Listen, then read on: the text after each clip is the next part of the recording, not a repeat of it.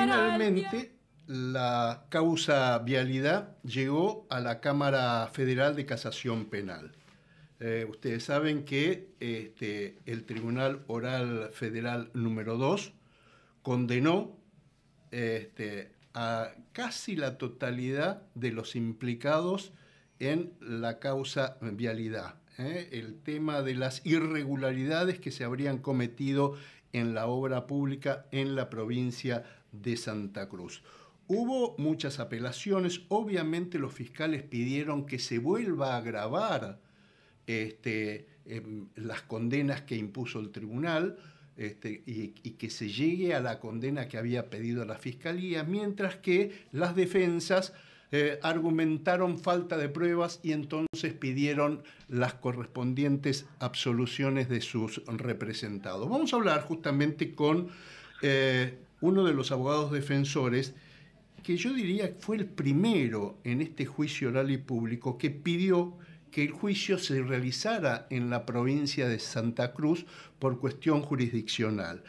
Eh, lo cierto es que eh, el Tribunal Oral Federal número 2 en la condena no tuvo en cuenta el pedido de la Fiscalía de la asociación ilícita y sí condenó por fraude este, al Estado Nacional. Vamos a hablar justamente con el abogado defensor que representó a Raúl Pavesi. ¿Quién era? Era un ingeniero en caminos y que fue presidente de Vialidad en la provincia de Santa Cruz. Vamos a hablar con el doctor Oscar Viñali, que, eh, que cada vez que lo hemos convocado gentilmente nos atiende. Doctor, buen día. Marcelo Orlando lo saluda. ¿Cómo anda?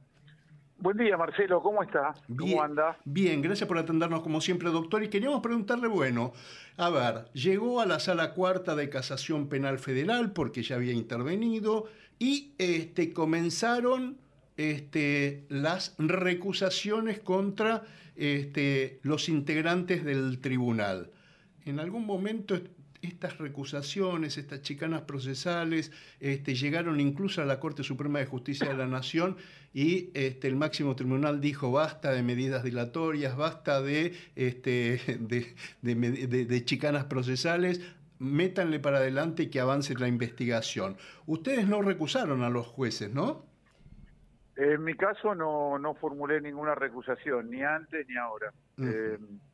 Lo que sí, eh, de alguna manera creo que se adelantaron en mi pensamiento y uno de los jueces se excusó definitivamente, que es el juez Carbajo. Sí, exactamente. En este caso, porque había preopinado u opinado ya en la llamada causa de la ruta del dinero K. Así es. Entonces eh, quedó encerrado en su propio criterio y, Sí, él, él, en, la ruta del dinero K, en donde condenaron a Lázaro Báez por, por lavado de dinero a 10 años de prisión, él eh, en realidad dijo en su momento que el delito por el que se lo condenaba a Lázaro Báez, este, el delito precedente era justamente las irregularidades en el financiamiento de la obra pública, ¿no? Claro, de esa manera ya la opinión de él está prácticamente sentada y no parece que pueda opinar en esta causa. Claro, claro. Bueno, de hecho, él se excusó, él se inhibió, él se separó, así que este, cuando esto ocurre, em, listo, em, tienen que reemplazarlo por otro. ¿Cómo sigue ahora? Esto No, primero primero tiene que revisar la eh, excusación los otros dos jueces u otros. Pero primero hay que revisarla para ver si es razonable, si es objetiva y una vez que eso ocurra, irá a sorteo para que la sala sea integrada por un nuevo magistrado. Este, y, y, lo, y lo, lo revisan otra sala, eh, miembros de otras salas, o porque en el caso de que, por ejemplo, Borinsky o el doctor Hornos también se excusen, en ese caso, ¿qué pasaría? Bueno, eh, primero, eh, en este caso que solo se excusó o se inhibió el juez Carbajo, deberían resolver sus otros dos colegas. Sospecho que alguno de los defensores va a pedir que esta inhibición la revise otro otro tribunal, otra sala de la casación.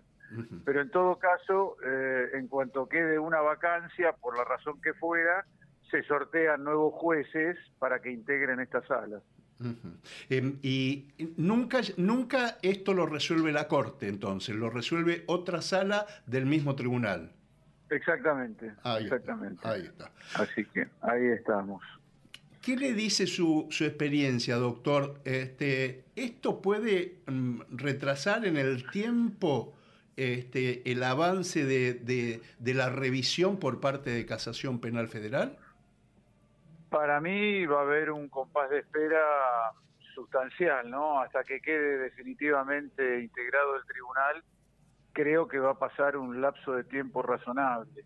Y una vez que ello ocurra, bueno, ahí ya constituido el tribunal con los jueces que, que sean sorteados o que queden integrando la sala, correrán los 10 días para que las partes se manifiesten de manera que lo veo para dentro de dos o tres meses esto. Me, tengo esa sensación, que va a llevar ese interreño de tiempo todo este trámite. Bueno, también ya hubo versiones que indicaban que tanto Casación Penal Federal como la propia Corte Suprema de Justicia de la Nación iban a ser tiempistas, determinados este, determinadas causas, determinadas investigaciones judiciales, por razones de electorales, este, no se iban a tocar. Bueno, e, es, algo que no me, no, no, me compete opinar, pero en todo caso, eh, supongo que por el simple trámite de la causa, por la complejidad de cada uno eh, de los argumentos que se han vertido, sobre todo que son condenatorios y son condenas bastante severas y pesadas, me da la impresión de que esto va a tener un trámite del año entero, pero por esa razón. Es decir, esta afirmación la justifico en, la complejidad de la causa y de, todos los temas a considerar. Se, se, se va a extender por esta razón y no, no por otra que no, no creo que tenga más influencia que esta, que es eh, cada uno de los temas que hay que resolver, ¿no es cierto? la última, doctor. El, fiscal Luciani pidió agravar las penas que impuso el tribunal. En el caso de su defendido, de Raúl Pavesi, este, cuéntenos, ¿se complicó su situación procesal? ¿Sus argumentos van a tener que, este, esforzarse para, para poder este, eh, defenderlo?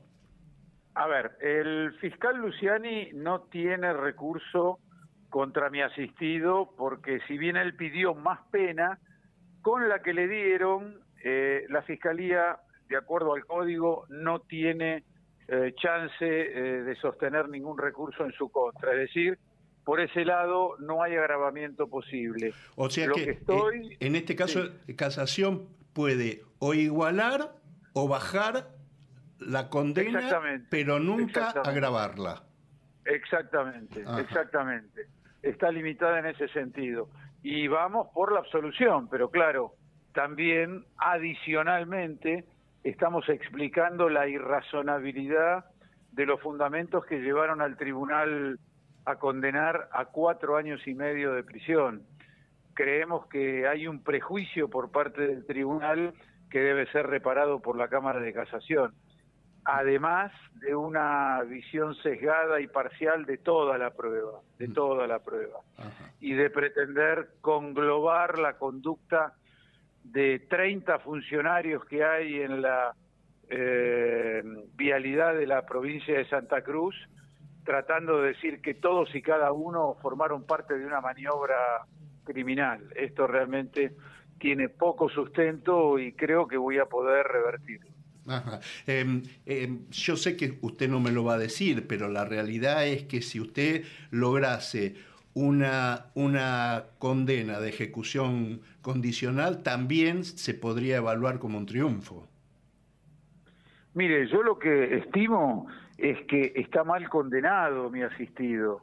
Eh, es cierto que los defensores vamos por todo primero y tratando de alivianar o de desembarazar la situación más compleja en forma eh, complementaria o adicional pero tengo argumentos de peso para demostrar que se lo ha juzgado de una manera sesgada y, con una visión conglobada, como le dije antes, que no tiene relación con, con lo que es el juzgamiento de una acción típica de manera objetiva y subjetiva. Así que en ese sentido tengo fe que me escuchen y, quizás de esa, de, de, la mano de esa argumentación reduzcan las penas considerablemente, más allá de que mi pretensión es la libre absolución de mi existido. ¿no? Eh, ahora, Ahí estamos. Ahora sí, la última. Eh, cuando haga la presentación ante casación, ¿es en una audiencia oral o presentará un escrito? En mi caso voy a pretender hacerla de manera presencial como ya lo hice en el tribunal cuando alegué y subsidiariamente se puede agregar lo que se llaman breves notas, es decir, eh, estimando o contradiciendo argumentaciones de otros partícipes de la audiencia que no resulten favorables a la postura del abogado que está alegando. Doctor Oscar Viñale, gracias como siempre, que tenga un buen domingo y hasta cualquier momento. ¿eh? Un fuerte abrazo, Marcelo, páselo bien. ¿eh? Hasta luego. Hasta luego.